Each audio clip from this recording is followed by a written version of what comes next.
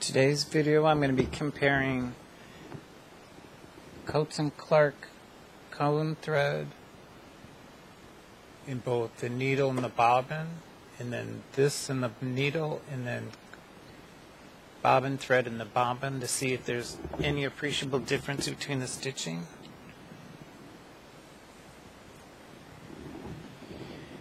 What I have is some medium weight cotton interfaced and I put wrong sides together just so we could see this so it's kind of would be like top stitching. Just going to do a default center needle position 3.5 stitch length no 2.5 stitch length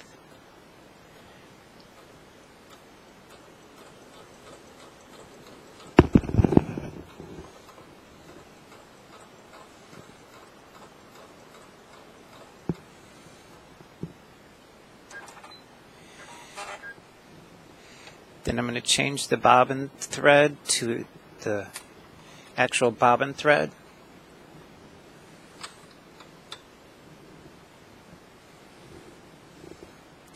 It's noticeably thinner.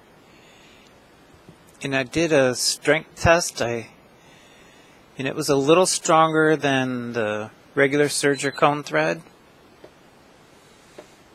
Just by grabbing it and pulling it and see when it would snap just a little stronger, not tremendously stronger.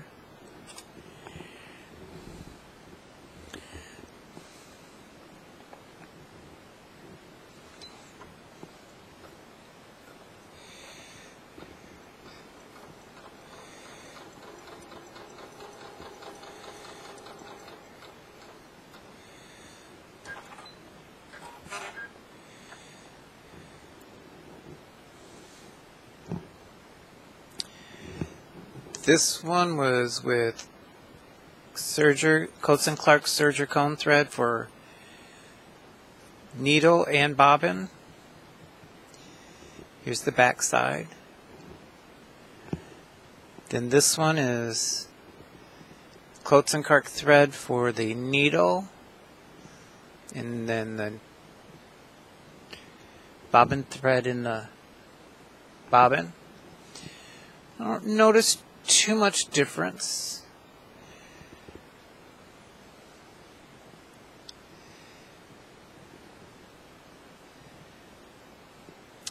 Now the neat the bobbin thread was eight thousand meters for I think eight dollars. So it's fairly inexpensive. I'll have to use it in a a little bit more to see if there's any difference in it.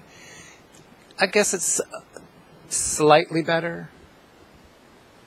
And I'll just leave it at slightly better. I'll have to try it on some knit fabric later.